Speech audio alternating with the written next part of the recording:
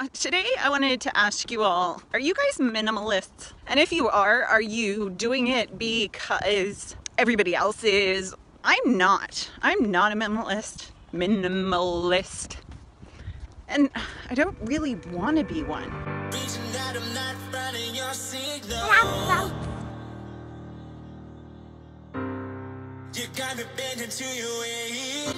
Hey guys, it's a gorgeous day out today, and I am going to take you out and about with me. My glasses. And Melina's going to skippity skip skip. Hello. We have coats on, but we ended up taking them off, and I am actually wearing short sleeves. Yay! Hello, Papa. Hello. Don't get me wrong. I'm actually a huge fan of people who can be minimalists. I think that is very cool that you can do that, especially those people that are like so minimal that they can live in tiny houses. That is like the coolest thing ever to me.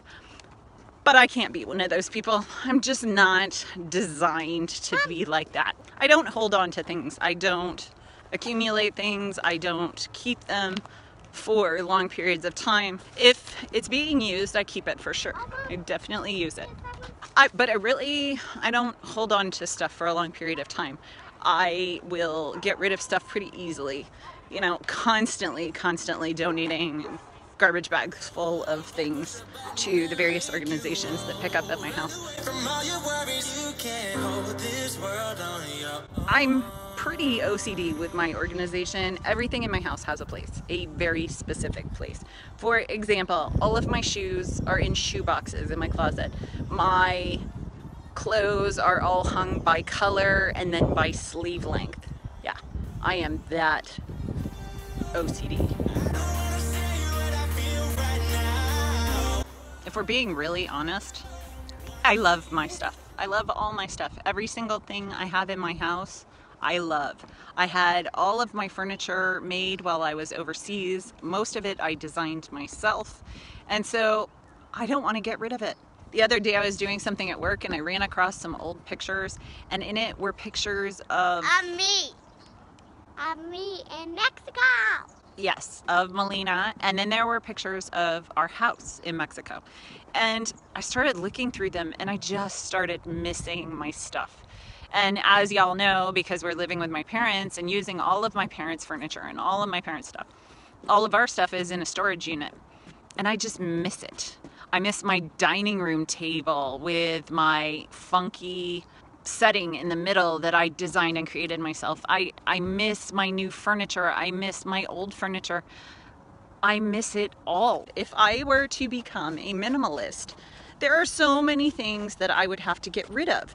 Like, for example, I would have to get rid of my kitchen gadgets, and I love my kitchen gadgets. I would have to get rid of my pewter serving trays because I only use those when I have people over for dinner. And I have a ton of jewelry, and all of it I bought in in places, and I I remember places based on where I bought things. And I'd have to get rid of some of my clothes, or a lot of my clothes. And I mean, I walk into my closet now with as many clothes as I have, and I frequently am like, I don't have anything to wear. So if I had to go down to a capsule wardrobe, oh my gosh, it would be like the end of times.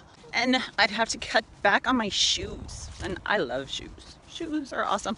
I don't get to buy them very often anymore, but I really love them. But probably the hardest thing for me to get rid of would be the Christmas decorations or all my holiday decorations because I have so many and they're meticulously organized so I know where everything is. I guess what I'm saying is be who you are and own it. You don't have to be anyone else. Be what makes you happy. That's what I'm doing. How many minutes when we were home? My legs are tired. If I were to become a middle, minimal, why can I not say that word?